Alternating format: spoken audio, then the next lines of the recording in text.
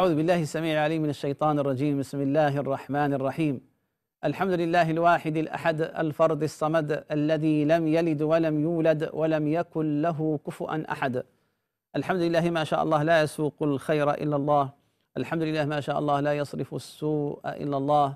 الحمد لله ما شاء الله ما كان من نعمة فمن الله. الحمد لله ما شاء الله لا حول ولا قوة إلا بالله. وأشهد أن لا إله إلا الله وحده لا شريك له خلق ورزق وعلم والهم وهدى للتي هي أقوم.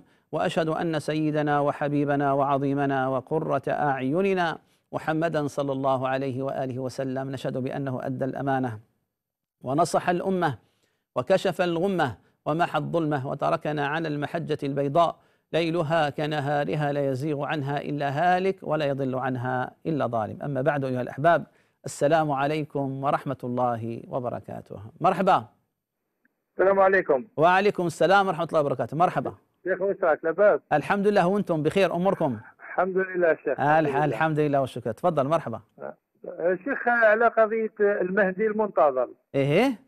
إيه، كان الناس تشكك يقول لك واحد يقول لك كاين منها واحد يقول لك ما كانش منها. شيخ إذا كان مكان كاش أحاديث صحيحة ولا في إيه. قضية المهدي المنتظر. يعني آه، ظهور المهدي المنتظر في آخر الزمان في آخر الزمان. نعم شيخ نعم شيخ. إن شاء الله ستسمع الإجابة إن شاء الله ستسمع الإجابة. بارك. الله بارك الله. فيك. آه، بارك الله فيك. أعانكم الله. آه، السائل آه، يسأل عن مسألة قد أفرد لها العلماء عليهم رحمة الله تبارك وتعالى التواليف والمصنفات. وهو عن ظهور رجل من أهل بيت رسول الله صلى الله عليه وآله وسلم ومن العترة النبوية ومن الدوحة النبوية من ولد فاطمة الزهراء رضي الله عنها وأرضاها من أولاد سيدنا علي رضي الله عنهما الذي سيملأ الله عز وجل به الأرض قسطا وعدلا كما ملئت ظلما وجورا. ومسألة ظهور المهدي في آخر الزمان أفرد لها الإمام الحافظ السيوطي رحمة الله عليه خاتمة الحفاظ جلال الدين السيوطي مصنفا ذكر فيه الأحاديث في هذا وذكر عشرات الأحاديث الواردة فيها. كذلك الحافظ ابن كثير. الحافظ ابن كثير ذكر الأحاديث الواردة في شأن ظهور سيد المهدي في آخر الزمان وذكر بأنها منها الصحيح ومنها الحسن ومنها غير ذلك. وتعتبر بمجموعها متواترة تواترا معنويا. كذلك الإمام محمد علي الشوكاني رحمة الله عليه الذي كان زيديا وثم انتقل إلى أهل السنة الإمام الشوكاني رحمة الله عليه ألف كذلك مصنفا أثبت فيه وذكر فيه الأحاديث الصحيحة الواردة في كتب الصحاح وكتب المسانيد والمعاجم والمستخرجات وغيرها. وقال أن بمجموعها تبلغ هذه الأحاديث المبلغ التواتر المعنوي. ما معنى التواتر المعنوي؟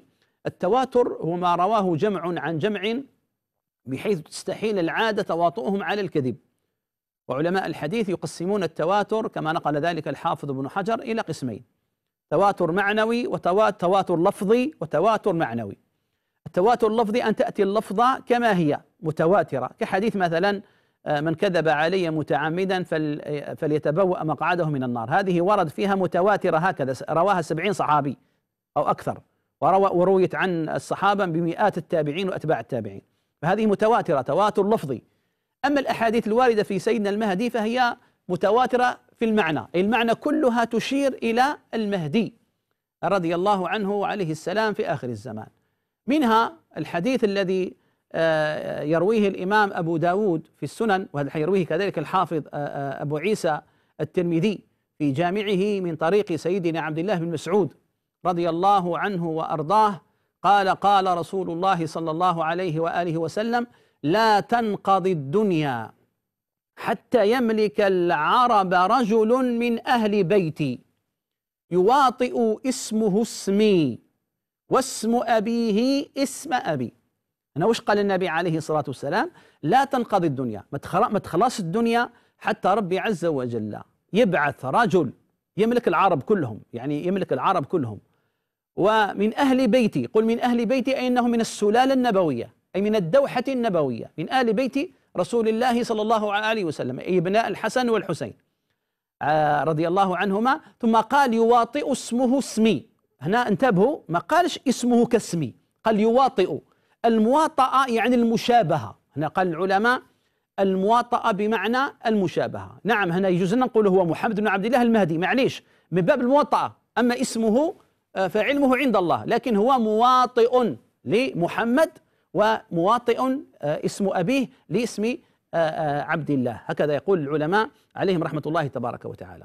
كذلك العلماء استدلوا بما رواه الإمام أبو داود وغيره وهذا حديث صحيح لا غبار عليه من طريق سيدنا أبي سعيد الخدري رضي الله عنه وأرضاه.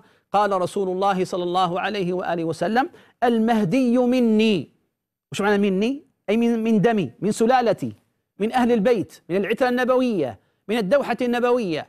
المهدي مني أجل الجبهة أقنى الأنف يملأ الأرض قسطا وعدلا كما ملكت ملئت جورا وظلما. وش يقول النبي عليه الصلاة والسلام؟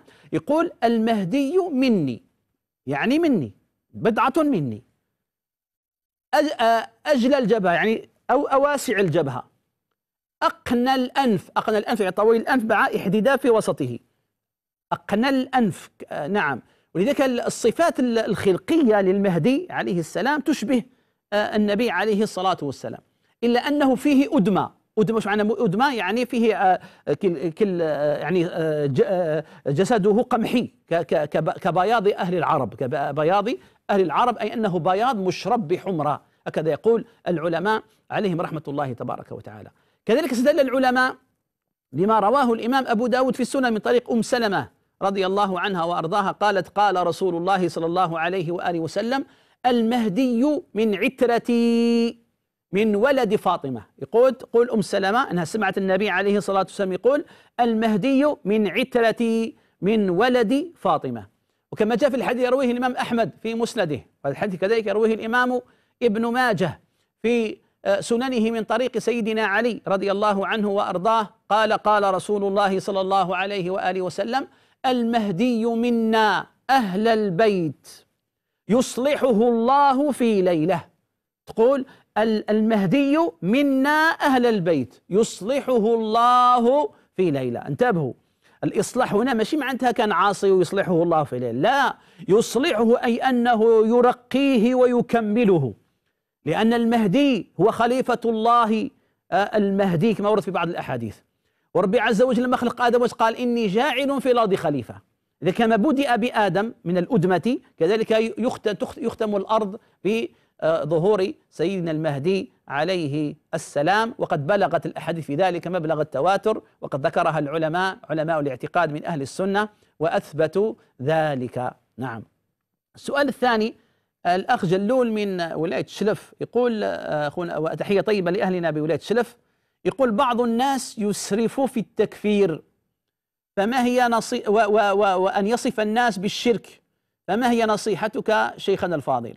يقول الأخ جلول كاين بعض الناس والعياذ بالله يسرفون يعني يكثرون من ال من ال التكفير يكفروا الناس لأتفه الأسباب ولا غير ذلك. يقول وش هي نصيحتك؟ وش هي نصيحتك للإنسان هذا يسرف في تكفير الناس. أولا نبهوا إخواننا بأن التكفير وش معنى التكفير؟